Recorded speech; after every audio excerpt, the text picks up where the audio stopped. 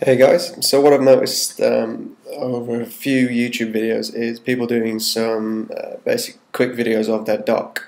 Um, so this basically is mine. I think Danny's Ace did one and um, I think Ramen did one as well. Um, so I figured why not just get a few more videos up there and also I've had, uh, well not many, two requests um, to get this one up. So I'll start from left to right as everybody's done so far.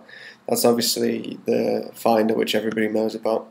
Um, just to point out, this video might be a little choppy uh, because I'm using a demo application and it gives me 30 seconds every time. So I'll, I'll try and patch them all together. Um, this is dashboard. Uh, obviously, everybody knows what this does. The difference I've noticed between normal dashboard in Tiger and the dashboard on Leopard, it doesn't tell you it's running. So there's no actual blue blue dot at the bottom saying it's open. Um, this is system, preference. So this is the only difference that we've got here in the other section. This is Version Cue for Creative Suite 3 and this is the Wacom tablet which is a tablet you attach via USB 2 um, and you can basically control your screen with a pen um, and a mouse. Um, so that's the only difference there so go ahead and close this. This is the ad so this application I basically use to keep a track of all my friends, all business contacts and things um, and especially birthdays as well because I tend to forget important dates. So I keep all birthdays in here. Um, this is iCal, uh, which basically you keep all your dates in for whichever types of so you can be personal, work, other birthdays, etc. And it also um, links up to your mail application. Uh, this is. I've only just started using Entourage last week because I used to use the mail application, and uh, in one day crashed on me three times, meaning I'm, i lost uh, 12 emails. So basically, I swapped it out for Entourage, and it's been perfect for me so far. Um, Safari, everybody knows about Safari. Uh, Firefox, everybody knows about Firefox. This is one you probably don't know about, which is called Pownce. So Pownce is an application similar to Twitter, um, which is obviously linked to a profile on the internet where you just do micro blogs and put up what you're doing, anything on your mind and stuff. So this is um, an application powered by Adobe Air. This is uh, Microsoft Messenger, so obviously my MSN application. Skype is a free VoIP software which is voice over IP. Um, so you can anyone else who has Skype installed, you can call them using your laptop, and I use it regularly to call home and things. Um, this is, as everyone knows, iChat, which is just another version of um, Messenger.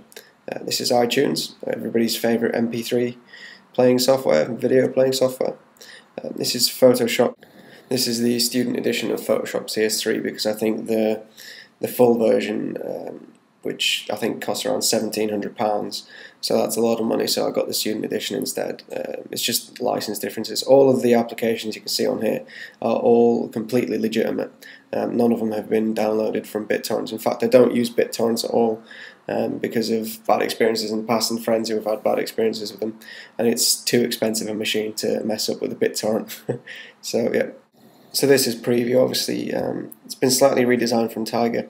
Uh, a few differences, nothing much really, and it is a little faster. Um, so basically, just to preview any any images you have. Um, this is iPhoto, everybody's favorite photo library. Um, iPhoto, all these applications are the the most recent. Um, this is iMovie 08, which a lot of people um, say isn't as good as iMovie HD. In fact, I think it's quite good for people just starting up and newcomers to the either YouTube or making videos, etc. Because it does make it very simple. Fair enough, you can't do the most complex things, but you can do enough to make a quick family video, which is perfect for the average Joe Bloggs. So that's good. The reason I've got text edit here is basically because if I come across a URL that, that's a cool design website or it's got important information on, I'll open text TextEdit, I'll paste that URL in, or that block of information, then I'll save it. It's just a quick way of basically keeping keeping notes um, because you can use your dashboard uh, widget notes, but they don't really fit much text on. So I'll have this there just for quick access. If you remember, I think it was around about a week and a half, two weeks ago, I unboxed Microsoft Word. So that's this. Um, this is Microsoft Excel for all your spreadsheets and things. And this right here is called Screenium. This is the demo. All the available links that I've got I'll provide in the sidebar as well. So if you check that out. This is my document stack. Um, so I haven't got many things in there. I use it just basically as a, as a spare section to keep things in. And it's the downloads uh, stack. So I basically don't use any other stacks really. I'm not that into them. Um, and this is my uh, YouTube page. I'll just load that up. So this is this is running on Firefox. I tend to use Firefox more than Safari. As you can see down the bottom, you get the miniature icon, um, depending on which application is minimized. And this is my trash. Uh, how we see it's just the rubbish bin, slightly redesigned from Tiger coming into Leopard. So uh, that's it, guys. Um, I hope you've enjoyed watching this. Thank you very much for tuning in, everyone. Um, and if you enjoyed watching uh, this little video and you like the latest updates from my channel, then you could consider subscribing. Um, all the links that I've referenced to today are in the sidebar. Thank you very much for watching, and I hope you have a great day wherever you are. Thanks. Bye bye.